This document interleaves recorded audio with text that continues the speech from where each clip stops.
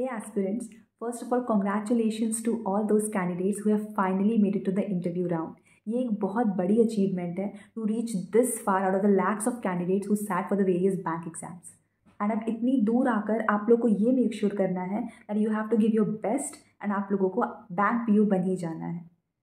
In this video, I will be sharing about my IBPS PO interview experience, SBI PO interview experience. And साथ में मैं आपको ये भी बताऊँगी कि इंटरव्यू की प्रिपरेशन कैसे करते हैं specifically what you have to study for the interview what attire you have to take and आपको किस तरीके से अपने आप को प्रेजेंट करना है। All those things I will be sharing with you all आपको लैंग्वेज क्या चूज़ करनी चाहिए जिस भी लैंग्वेज में आप कंफर्टेबल हैं या फिर you have to choose a particular language I will also tell you how you have to deal with all those questions जिनके बारे में आपने कभी पहले सुना ना हो, या फिर आप ऐसे क्वेश्चंस को सुनकर बिल्कुल ब्लैंक हो जाए तो इन सारे क्वेश्चन से, ऐसे सिचुएशन से आपको कैसे डील करना है in the interview so before I start this video I would like to tell you one thing guys कि अगर आपका मेन्स में मार्क्स अच्छा है, या फिर अभी अभी तक डेफिनेटली मार्क्स रिवील नहीं हुआ होगा, लेकिन जिनको ये लगता है कि उनका मेन्स का परफॉर्मेंस अच्छा गया है तो उन्हें इंटरव्यू में कम मेहनत करना है या फिर जिनके मेन्स में मार्क्स अच्छे नहीं हैं, वो may be around the cut off he score कर पाएँ, उनको इंटरव्यू में बहुत मेहनत करना है, या फिर उनका नहीं हो पाएगा, ऐसा बिल्कुल मत सोचिए बिकॉज़ ऐसे कई सारे एग्जाम्पल्स हैं जिनके मेन से मार्क्स बहुत अच्छे हैं but they have not scored well in the interview and finally वो सेलेक्ट नहीं हो पाए हैं। एंड ऐसे भी हैं जिनके अराउंड मेन्स में मार्क्स कट ऑफ़ के अराउंड है बट उनका फाइनल सेलेक्शन इंटरव्यू में अच्छा परफॉर्म करने की वजह से हुआ है। So don't believe on any misconceptions आप अपना बेस्ट दीजिए इंटरव्यू बिकॉज़ ये एक इंटरव्यू राउंड है, ये एक पर्टिकुलर राउंड है this is the third round of your assessment and इसका कोई सिग्निफिकेंस होगा तभी ये राउंड रखा गया है। तो डोंट टेक इट लाइटली कि इंटरव्यू बस फॉर्मेलिटी होता है because we keep on listening कि इंटरव्यू तो बस एक फॉर्मेलिटी है मेन चीज़ तो मेन्स का एग्ज़ाम होता है एंड ये सोच कर कि बहुत ज़्यादा इजी है इंटरव्यू ऐसा मत चलिएगा because interview is a game changer मैंने ऐसा देखा है। मेरे मेन्स में मार्क्स बहुत अच्छे नहीं थे एसबीआई में because I didn't prepare that much जितना मुझे प्रिपरेशन करना चाहिए था। सो so, मैं बहुत श्योर नहीं थी कि मैं इंटरव्यू में क्रैक करके फाइनली सेलेक्ट हो जाऊँगी। वो भी बहुत अच्छे मार्क्स से so interview played a very big role in my selection तो आप लोग की भी सिलेक्शन में इंटरव्यू एक बड़ा रोल प्ले कर सकता है वेदर आपका अच्छा आया हुआ है मीन्स में मार्क्स या नहीं दैट डजेंट मैटर आपको सिर्फ़ ये फोकस करना है कि इंटरव्यू एक राउंड है इंटरव्यू एक सिलेक्शन या फिर असेसमेंट का एक पर्टिकुलर पार्ट है। आपको उसमें अच्छा परफॉर्म करना है, जैसे आपने मेंस पे परफॉर्म किया, जैसे आपने प्रिलिम्स पे परफॉर्म किया एंड जी डी भी बहुत ज़्यादा इंपॉर्टेंट है, जो S B I P O के इंटरव्यू में बैठेंगे उनके लिए। So in conclusion I would like to tell कि आपको एक्सेप्शनली वेल परफॉर्म करना है इंटरव्यू में, एक, और इस पर मेहनत करना शुरू कर दीजिए जिसके, जैसे आपने मेंस और प्रिम्स के लिए किया है। कैसे क्या पढ़ना है, कितना पढ़ना है you have to make sure कि आप बस उतना ही करिए, उससे ज़्यादा कुछ नहीं। एंड अपना प्रेजेंस ऑफ़ माइंड ज़रूर यूज़ करिएगा इंटरव्यू में दैट इज़ वेरी इंपॉर्टेंट तो मैं आपको अपना एक्सपीरियंस अगर बताऊँ तो after I gave I B P S P O and S B I P O specially about S B I P O मुझे ऐसा लग रहा था कि मैं S B I P O से बाहर हो चुकी हूँ फाइनली इंटरव्यू में बिकॉज़ मुझे हमेशा से सेल्फ डाउट था कि मेरे मेंस में मार्क्स कम है और मैंने कहीं ना कहीं ये सुना था कि मेंस में अगर मार्क्स कम होंगे तो मेरा इंटरव्यू में तो होने से रहा। अगर हो भी गया इंटरव्यू में तो मेरा फाइनल सिलेक्शन बिल्कुल भी नहीं हुआ क्योंकि मेंस में मार्क्स कम है। ऑल दो मेंस की मार्क्स बिल्कुल भी रिवील नहीं हुए थे, तब भी मैंने ये सारा अपने दिमाग में भर लिया था कि मेरे मेंस के मार्क्स अच्छे नहीं है, मेरा इंटरव्यू बेकार ही गया है and I am out of the final selection तो इतना सब कुछ सोचने के बाद जब रिज़ल्ट आया and I saw my name in the final list मुझे ऐसा लगा कि हाउ इज़ इट पॉसिबल पर ये पॉसिबल हो मैंने इंटरव्यू में बहुत अच्छा परफॉर्म किया था। मुझसे कुछ ऐसे क्वेश्चंस पूछे गए थे जहाँ पे मुझे अपना प्रेजेंस ऑफ़ माइंड यूज़ करना था। एंड मुझे कैसे उसको आंसर्स को कैसे डिलीवर करना था? एंड प्रेशर ना लेके विद अ डिसेंट स्माइल के साथ मैंने सारे आंसर्स किए जो मैं नहीं जानती थी उनको भी। तो इस तरीके से आप लोगों को इंटरव्यू में पेश आना पड़े क्योंकि डेफिनेटली अगर पैनलिस्ट आपसे दस क्वेश्चन पूछेंगे तो आपको एक दो क्वेश्चन नहीं आएगा। ऐसा कोई नहीं होगा जो दस के दस बता दे। या फिर दस के दस बताने वाले ऐसे होंगे जो वहाँ पर अपना प्रेजेंस ऑफ़ माइंड यूज़ करेंगे, ना कि ये कि मैंने ये पढ़ा है या नहीं। ये सोचने में अगर आपने टाइम वेस्ट कर दिया वहाँ पर तो आप इंटरव्यू से बाहर हो जाएँगे। You have to use your presence of mind आप ऐसे आंसर्स को फ्रेम करिए, जिससे कि लगे इंटरव्यू कि आप पे कोई भी बाउंसर अगर थ्रो किया जाएगा you will be able to manage it easily so अब बात कर लेते हैं कि इंटरव्यू की प्रिपरेशन आपको करनी कैसी है। तो इसमें हम लोग बात करेंगे पाँच मेन इंपॉर्टेंट चीज़ों पे, जैसे कि what should be your appearance आपका अटायर क्या होना चाहिए। सेकेंड इसकी लैंग्वेज सिलेक्शन क्या होना चाहिए आपका। थर्ड आपका नॉलेज आपको क्या क्या चीज़ें पता होनी चाहिए। आपको क्या इंपॉर्टेंट है पढ़ना और क्या स्किप करना इंपॉर्टेंट है।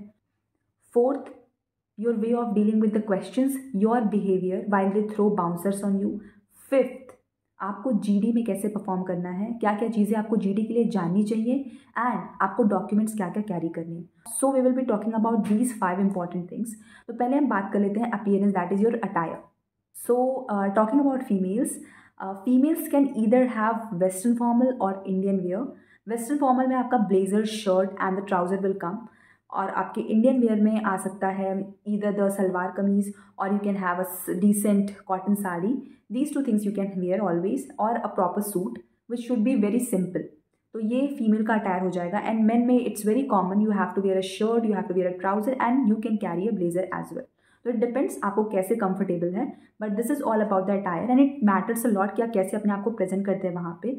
एंड मेक श्योर कि आपका हेयर टाई हो it should be neat and clean and use oil और use gel whatever but make it make sure कि मेस्ड अप हेयर के साथ आप मत जाइएगा एंड फ्रेश फेस के साथ कोशिश करिएगा जाने का in the interview and with a smiley face हमेशा एक डिसेंट सा स्माइल अपने फेस पे कैरी करिएगा। आपको बहुत ज़्यादा नहीं हंसना है, आपको बहुत कम नहीं हंसना है। आप बहुत गुस्से में मत रहिएगा, आप बहुत ज़्यादा मत हंसीएगा। Just maintain a very decent smile throughout the interview that is very much required and कोशिश करिएगा कि सारे आंसर्स को आप इस तरीके से हैंडल करें कि पैनलिस्ट ज़्यादा इरिटेट ना हो। ठीक है? सेकेंड इज़ लैंग्वेज सिलेक्शन तो लैंग्वेज कौन चाहिए? इस पर बहुत सारी क्वेरीज आई है मेरे कमेंट सेक्शन में एंड मुझे लगा कि इसको बताना बहुत ज़रूरी है। बहुत लोग बहुत डरे होते हैं कि इंटरव्यू बस इंग्लिश में होता है, हिंदी में तो इंटरव्यू होता ही नहीं है। ऐसा बिल्कुल नहीं है। आपके ऊपर टोटली कम्प्लीटली ये चीज़ दे दिया जाएगा।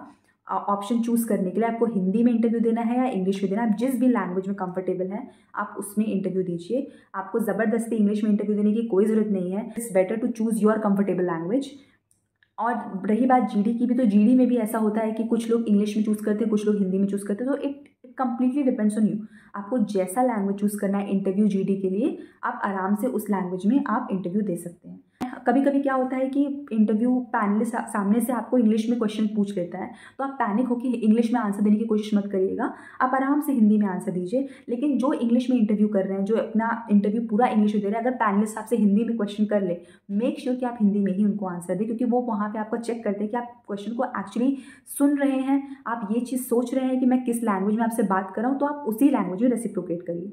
Third part is your knowledge आपको क्या क्या चीज़ आनी चाहिए, आपको क्या क्या चीज़ पढ़ना है क्या क्या स्किप करना है। तो पहला चीज़ आपको बैंकिंग अवेयरनेस के बारे में जानना पड़ेगा। बैंकिंग टर्म्स के बारे में बेसिकली जानना पड़ेगा, जो बेसिक बैंकिंग होता है, वो आपको समझना पड़ेगा। मुश्किल से वो आपका दस, बीस पेजेस का वो होगा। आपको यूट्यूब पे आसानी से बहुत सारे चैनल्स ऐसे मिल जाएँगे जो आपको बेसिक बैंकिंग पढ़ाए हैं। तो आप वहाँ से बेसिक बैंकिंग समझ सकते हैं। उनको, उनके छोटे छोटे नोट्स बना के यू हैव टू रीड क्योंकि कभी कभी वो डायरेक्टली पूछ लेते हैं कि ये टर्म का फुल फॉर्म क्या है या ये टर्म का मीनिंग क्या है। तो आपको टर्म बेसिकली आना चाहिए बेसिक बैंकिंग की, वो बहुत इंपॉर्टेंट हो जाता है। सेकेंड इज़ कि आपको करंट अफेयर्स से अवेयर रहना है, उसके लिए आप न्यूज़पेपर अगर पढ़ रहे हैं तो कीप ऑन रीडिंग न्यूज़पेपर जो नहीं पढ़ रहे हैं प्लीज़ न्यूज़पेपर पढ़िए न्यूज़ के साथ बने रहिए, क्योंकि करंट अफेयर्स करंट न्यूज़ से वो काफ़ी सारे क्वेश्चन उठाते हैं and for that you have to be very ready क्योंकि वो ये एक्सपेक्ट करते हैं सामने कैंडिडेट से कि कैंडिडेट्स को अभी वर्ल्ड में, अपने कंट्री में क्या चल रहा है, उसके बारे में अवेयरनेस है। And third thing that you have to study is अपने बारे में। आपने अपना बायोडाटा फॉर्म उठाया और जो जो इन्फॉर्मेशन आपके बारे में दिया हुआ है, उसके बारे में आप डिटेल में पढ़िए। क्योंकि जो एक्चुअली हाथ में पैनलिस्ट के रहता है, वो आपका बायोडाटा फॉर्म ही रहता है, जिसके बेसिस पे वो आपसे क्वेश्चन पूछते हैं। तो कभी कभी वो बहुत बेसिक क्वेश्चन जैसे कि आपके नाम का मीनिंग ही पूछ सकते हैं। Then you have to answer that उनको ये एक्सपेक्टेशन होता है कि कैंडिडेट्स को अपने नाम का मीनिंग तो आता होगा। ये बहुत बेसिक लेकिन आपके बायोडाटा फॉर्म में जितनी भी इन्फॉर्मेशन है आपके बारे में फॉर एग्ज़ाम्पल आपका कॉलेज का नाम, जो भी है उससे रिलेटेड आपसे हिस्ट्री वो पूछ सकते हैं, थोड़ा बहुत। तो सब चीज़ के बारे में आगे पीछे जाने की कोशिश करिएगा थोड़ा बहुत सो दैट कहीं से अगर उन्होंने क्वेश्चन उठाया तो आप आंसर दे सकते हैं। फॉर एग्ज़ाम्पल आप जहाँ से बिलोंग करें, उसकी हिस्ट्री के बारे में या वहाँ के करेंट चीज़ों के बारे में वो पूछ सकते हैं। So these are little examples that you have to keep in mind क्योंकि वो ये एक्सपेक्ट करते हैं कि कैंडिडेट्स को अपने बारे में तो एटलीस्ट अच्छे से पता होगा। और आपकी जो भी हॉबी होगी प्लीज़ उसको जेनुनली मेंशन करिए, क्योंकि वो उससे क्वेश्चंस बहुत डीपली कभी कभी पूछ लेते हैं। तो जो भी हॉबीज़ हैं, उनको जेनुइनली मेंशन करिएगा। कोई भी गलत हॉबीज़ या फिर झूठ बोलने की कोशिश, बिल्कुल भी इंटरव्यू में मत करिएगा, वरना आप खुद उसमें फंस जाएँगे। It's better to be honest और जितना आपके अचीवमेंट्स है, सिर्फ़ वही मेंशन करिए। उससे ज़्यादा अचीवमेंट्स मत मेंशन करिएगा, क्योंकि पैनलिस्ट बहुत ईजिली पकड़ लेते हैं कि कैंडिडेट सही बोल रहा है, या फिर वो गलत या फेक कर रहा है। ठीक है? Fourth point is how you will deal with the bouncer kind of question तो उसके लिए आपको अपना माइंड यूज़ करना पड़ेगा कि कैसे कैसे डील करना है। मैंने जैसे पहले बोला कि एक डिसेंट स्माइल हमेशा रहनी चाहिए, उनको ये ना लगे कि आप पैनिक हो गए मेरे क्वेश्चन से। अगर आपको नहीं आता आता है तो आप ये बोलिए कि अभी ये आंसर नहीं दे सकती। I will but I will definitely make sure कि मैं इसको घर जाकर देखूँ एंड मैं इसके बारे में जानूँ। आप ये जो बोलिए, आप ये मत बोलिए सिंपली कि आई डोंट नो ये एक अच्छा तरीका नहीं है डील करने का क्वेश्चन से। बहुत सारे ऐसे क्वेश्चंस मुझसे भी पूछे गए थे एस बी के इंटरव्यू में जिसका मैं आंसर नहीं दे पाई थी और मुझे ऐसा लग रहा था कि मेरा तो इंटरव्यू गया बट नहीं। ऐसे सारे, बहुत सारे क्वेश्चंस होते हैं जहाँ पे आप बहुत कुछ चेंज कर सकते हैं। मुझसे एक क्वेश्चन आई रिमेंबर मुझसे एक क्वेश्चन पूछा गया था अबाउट पेंटिंग पीछे भेज के पेंटिंग पूछी गई थी कि उस पेंटिंग किस टाइप की वहाँ पे पेंटिंग है? Can you tell me about that क्योंकि मैंने अपना हॉबी पेंटिंग डाला था। उन्होंने मुझसे पूछा था कि वो किस टाइप की पेंटिंग है? You have to tell and that painting was divided to two parts एक तरफ़ दूसरा पेंटिंग था, एक तरफ़ दूसरा पेंटिंग था। मैंने एक पेंटिंग तो आराम से आइडेंटिफाई कर लिया but the second painting I was not able to identify लेकिन मैंने एक भी कर लिया उन्होंने समझ, उन्होंने ये समझ लिया कि I was genuine in writing my hobby मैंने गलत कुछ नहीं लिखा है। तो ऐसे वो आपकी जेन्यूननेस को चेक कर सकते हैं हॉबीज़ में सो मेक श्योर कि आप कुछ भी गलत ना लिखें। And now finally talking about the documents and G D round तो डॉक्यूमेंट्स में जो भी आपकी ऑफिशियल वेबसाइट पे मेंशन है प्लीज़ कैरी करिए उसको। आप एक्स्ट्रा कॉपीज़ कैरी कर लिए वो सही रहेगा बट मेक श्योर कि आप कोई भी डॉक्यूमेंट घर पे मत भूलिएगा। आप सारे बल्कि कोशिश करिएगा डॉक्यूमेंट्स आपके पास हों।